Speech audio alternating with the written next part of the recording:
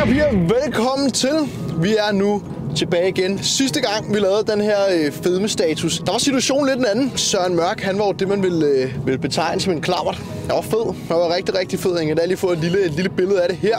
Det var, det var ikke prængende, men nu er det nye tider. Søren Mørk er væsentligt mere hakket. Planen i dag, det er egentlig, at vi skal faktisk ned og lave det, jeg vil kalde en magtdemonstration. Så kan vi lige i den sammenhæng få et øh, lille overblik over, hvordan ser formen ud? Hvordan er forskellen fra den nuværende form til min tidligere form? Og hvad har jeg gjort? Hvad har jeg lavet af fejltagelser? For de fejltagelser har jeg også lavet en del af. Men, øh, men alt i alt, så kan I prøve at se, at de ting, jeg ligesom prædiker her på kanalen, at det rent faktisk er ting, som virker i praksis. Så nu vi får nogle beviser på bordet, og skal ellers bare ned og hygge os ned i endnu en jernhule. Hvad laver du så? Vi havde øh, dagens første udfordring, det var, at øh, de har sådan et online betalingssystem, hvor man skal betale derigennem. Så øh, fordi mig og Dino, vi åbenbart er tyndere end pis begge to, så kunne vi fandme godt lige snige os igennem. Men øh, nu har vi MobilePay, vil jeg lige nævne, en 50'er hver, så vi har nemlig ikke gjort noget forkert. Fordi at det, jeg læste lige øh, det nederste her, at øh, om det er så vel til panserne, hvis ikke lige vi får, øh, vi får gjort det. Skal vi ikke på nu, når vi er her? Det ser godt ud til, at det bare er selvbetjening, så skal vi ikke lige få fyret en, øh, en money? En money? Lille money? Ja, lad os gøre det. Øh, venner, vi er på træningsprogrammet, som øh, jeg har kørt siden jeg lavede den her øh, ja, fedmestatus part 1 er det jo så. Der har vi kørt øh, push-pull legs. Nu er jeg gået hen i stadig en push-pull legs.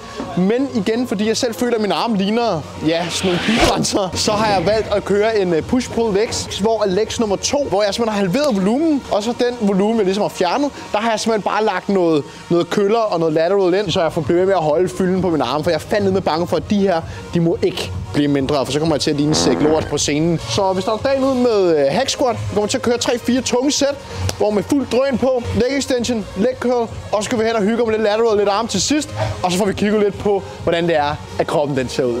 Let's go. Så lige siges, at det her, det skete med 100% sikkerhed, da jeg bulkede. Og den revnet bare helt op i røvhullet. Men øh, jeg er jo tilbage fra Spanien, hvor jeg har været, i, har været her i hvad? En uge, skal være 14 dage. Og jeg har selvfølgelig kun valgt at tage et par shorts med, og et par træningsbukser med hul i løgne. Så det er jo helt kanon, så, øh, så er vi i gang, ikke? Whoa, whoa, whoa. Two different levels I cannot relate. You never win if you playing it safe. It's all a game until you get played.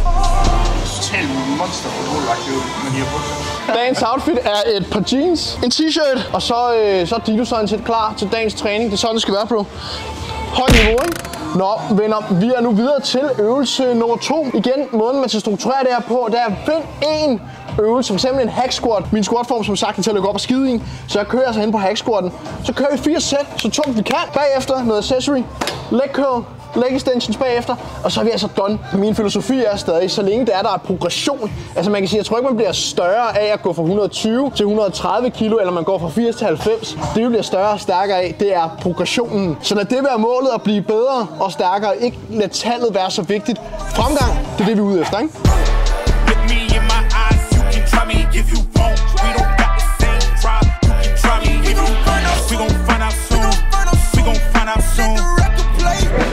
Faktisk de sidste tre øvelser kommer til at køre. Først og fremmest skal vi køre noget lateral raise. Vi skal køre et, øh, en øvelse biceps, og vi skal også køre en øvelse til triceps. Triceps kommer til at foregå ind på kablerne, men ellers nu har vi kørt vores lateral raise. Den fik jeg ikke lige med, men nu har I nok også set mig lave forholdsvis mange lateral raise gennem tiden, så den får I lov at gemme til en anden god gang. Men nu kører vi vores, øh, vores bicep curls, vores triceps, og så hopper vi ind bagefter, og så får vi smidt lidt poseringer igennem, og så skal vi gennemgå lidt af de fejl, som jeg mener har været rigtig, rigtig store i forhold til den her diæt, jeg har kørt. Så hvordan jeg til næste gang kommer til at kunne gøre det væsentligt nemmere for mig selv.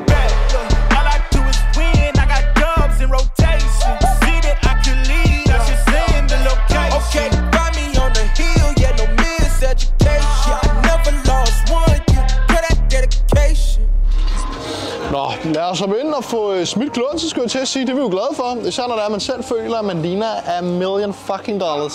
Venner, vi kan lige her nu få en sammenligning af fysikken, hvordan den ser ud her nu. Og så kan Dino lige smide ind, at der er røget væsentligt. Vi er stadig 9 uger ude. So ride, got BKTs on this bitch, so everybody getting rolled on, yeah. Yeah, everybody getting rolled on. Check all this credits on BMI, I'm just too kind to øhm, er for i øjeblikket, venner. Det er, hvad de her fejl, jeg selv mener, jeg har begået er.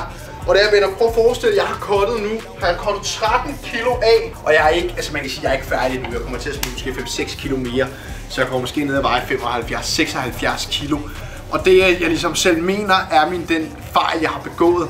Det har så været, venner, at jeg har bulket for hårdt der har spist for mange kalorier i forhold til, hvad burde. Altså man kan sige, nu er det ikke fordi, vi er perfekte.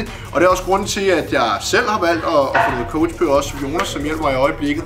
Og det er fordi, at når man står og kigger sig i spejlet lige så meget, som, øh, som jeg gør, så kommer jeg til at stige mig blind jeg kommer aldrig nogensinde til at føle, f.eks. når det er pulker, så føler jeg hele tiden, at jeg er lille og tynd og ikke arbejder hårdt nok. Og grunden til, at jeg ikke vil øge mine kalorier, er, fordi jeg er en, en pussy, der ikke vil lægge indsatsen. Ikke? Jeg gør tingene rigtig, rigtig svært for mig selv, men man lægger som en regel, så det er ikke, fordi jeg kommer til at høre noget pis, fordi man kan sige, at jeg er jo også nået til et stadie sådan rent mentalt, at jeg, jeg er ligeglad. Men det kan godt være, at der er mange, der så er, fordi jeg er sulten, men der er nogen, der reagerer på deres sult og overvejer, om de så skal spise noget. Men jeg er nået på et punkt nu, hvor det ikke længere er vigtigt, hvad jeg føler. For jeg er bare blevet robot nu. Jeg får at vide, hvad jeg skal spise, spise det kører videre. Men det havde røget mig også trukket tænder. Dette var Fedme Status part 2. Og jeg håber, jeg rækker det første var, jeg håber, jeg nåede videoen, og jeg håber, I fik noget ud af det. Jeg har to videoer herude til venstre på noget andet lort, jeg laver. Og ellers så subscribe på kanalen her, for jeg får altså ikke en krone for noget af det her, venner. Tusind tak, fordi I så med. Vi ses. Dynamite!